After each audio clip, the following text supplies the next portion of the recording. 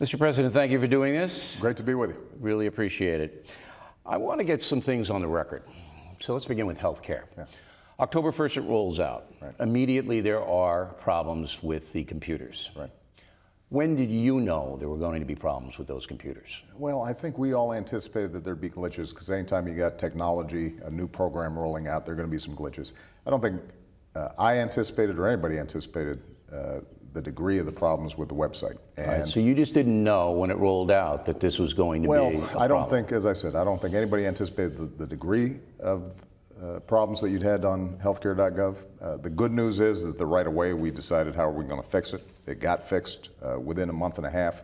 Uh, it was up and running, and now it's working the way it's supposed to, and we've signed up 3 million people. I don't know about that because uh, last week there was an Associated Press poll of people who actually went to the website, and only 8% of them feel that it's working well, working well. Why didn't you fire Sebelius, the uh, secretary in charge of this? Yeah. Because, I mean, she had to know after all those years and all that money that it wasn't going to work. You know, my main priority right now is making sure that it delivers for the American people. And what we've, what, what we've ended up doing is we've got 3 million people signed up so far. We're about a month behind of where we anticipated we wanted to be. We've got over 6 million people who've signed up for Medicaid. Yeah. We've got 3 million young people uh, under the age of 26 who were signed up on their parents' plan. And so what we're constantly figuring out is how do we continue to improve it? How do we make sure that the folks who don't have health insurance can get health okay. insurance, and those who are underinsured are able to get better health insurance? I'm sure. I'm sure that the uh, intent is noble, but I'm a taxpayer, yeah. and I'm paying Kathleen Sebelius a salary, and she yeah. screwed up, yeah. and you're not holding her accountable. Well, I, I, promise you that we hold everybody up and down the line accountable. But when we're in, when, when we're midstream, Bill, that we want to make sure that our main focus is how do we make this thing work so that people are able to sign up, and that's what we've done. All right. Was it the biggest mistake of your presidency to tell the nation over and over if you like your insurance, you can keep your insurance. Oh, Bill, you've got a long list of my mistakes in my no, presidency. No, really, for you, but, wasn't that the biggest this one? Is, this is one that uh, I regret, and I've said I regretted, in part because we put in a grandfather clause in the original law saying that, in fact, you were supposed to be able to keep it. It obviously didn't cover everybody that we needed to, and that's why we changed it so that we further grandfathered in folks, and many people who thought originally when they got that cancellation notice they couldn't keep it are now. It's in the it. past, but isn't so, that the biggest mistake? Well, I, you know, Bill, as I said, you gave your enemies a you, lot of fodder for you, it. You, you were very generous in saying I look pretty good, uh, considering I've been in the presidency for five years, and I think part of the reason is I try to focus not on the fumbles, but on the next play. All right. Libya, a House Armed Services testimony. General Carter Ham, you know the general, yes, security in Africa. Yeah. He testified that on the day that the ambassador was murdered and the three other Americans, all right, he told Secretary Panetta it was a terrorist attack. Mm -hmm. Shortly after Ham, General Ham said that, Secretary Panetta came in yeah. to you. Yeah. Did he tell you Secretary Panetta, it was a terrorist attack. You know what he told me was that there was an attack on our compound. He didn't. he didn't use the word terror. You know, in in the heat of the moment, Bill, what folks are focused on is what's happening on the ground. Do we have eyes on it? How can we make sure our folks are yeah, but secure? I just want to get this so, on the record. Did I, he tell you it was a terror attack? Bill, and what I'm I'm answering your question. What he said to me was, "We've got an attack on our compound. We no don't terror know yet. Attack. We don't know yet who's doing it. Understand by definition, Bill, when somebody is attacking our compound, yeah. that's an act of terror, which is how I characterized it the day after it happened. So the, so the question ends up being who, in fact, was attacking us. But it's more than and, that, and though, that, because of we, Susan Rice. No, it, it's more than that because if Susan Rice goes out and tells the world that it was a spontaneous demonstration no. off a videotape. But you're, your Bill, commanders and the Secretary of Defense know it's a terror attack. No, Bill, just Bill, as an American, I'm just and, confused. And I'm, and, and I'm trying to explain it to you if you want to listen. The fact of the matter is, is that people understood at the time something very dangerous was happening, that we were focused on making sure that we did everything we can, could to protect them. In the aftermath, what became clear was that the security was lax, that not all the precautions uh, that needed to be taken were taken, and both myself and Secretary Clinton and others indicated as much.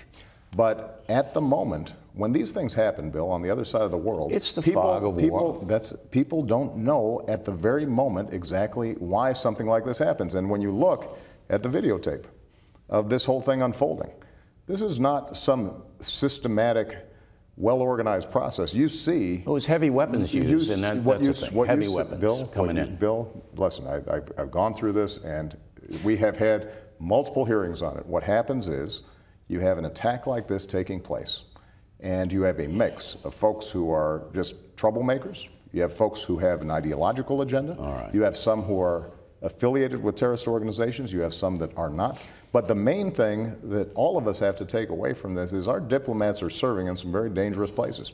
But and more- we've got to, and we've that, got, though. and we've got to make sure that not only have we implemented all the reforms that were recommended by the independent agency, but we also have to make sure that we understand our folks out there are in a hazardous, dangerous situation. I think everybody and we, understands that, No, Mr. but President. actually, not everybody does because what I ends up think they do. happening, what ends up happening is we end up uh, creating a political agenda on Absolutely, and something that's- in that was my next question. Democrats and Republicans should be unified in trying to figure out how are we going to protect people in I got to get to the IRS, but I just want to say that there, your detractors believe that you did not tell the world it was a terror attack because your campaign didn't want that out. Bill, think That's about what they believe. And, and, and they believe it because folks like you are telling No, them I'm that. not telling them that. I'm asking you whether But- you were and told it was a terror is, attack. And what I'm you- saying is that is a- inaccurate.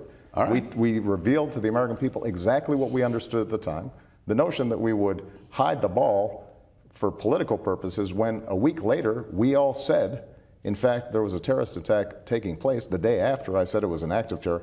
That wouldn't be a very good cover up All if that's what we were. I got to get to the IRS because I don't know what happened there, and I'm hoping maybe you can tell us. Douglas Shulman, former IRS chief, he was cleared into the White House 157 times, more than any of your cabinet members, more than any other IRS guy in the history by far. Okay, why was Douglas Shulman here 157 times? Why?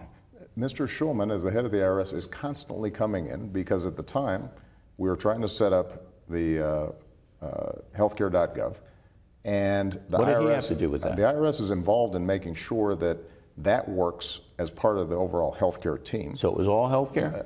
Number two, we've also got the IRS involved when it comes to some of the financial reforms to make sure that we don't have taxpayer uh, funded bailouts in the future. So you had all these different agendas in which the head of the IRS is naturally involved.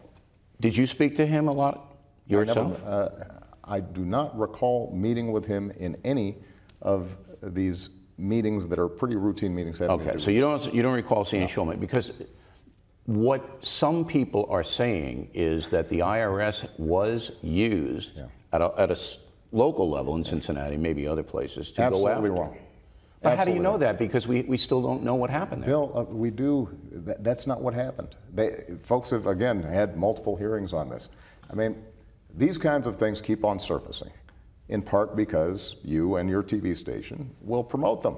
But don't, but when don't folks you feel actually, there are unanswered questions? Bill, when you actually look at the stuff, there have been multiple hearings on it. What happened here was is that But you've got no a you've got a 501 C4 law that people think is confusing. No, that the folks did not know how to implement. Okay. Because it basically says So you're saying if you no, were no involved, corruption there at all? No. that's not what I'm Flat. saying. That's actually No, no, but I want to know what you're saying. You're the leader Absolutely. of the country. You're saying no corruption. None.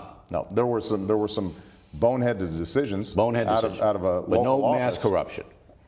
Not even mass corruption. Not even a smidgen of corruption. On this Okay. I got a letter from Kathy Lemaster, Fresno, California. I said I would read one letter for the folks, all right?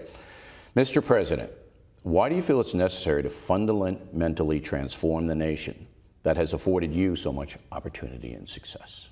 I don't think we have to fundamentally transform the But nation. those are your words. I think that what we have to do is make sure that here in America, if you work hard, you can get ahead.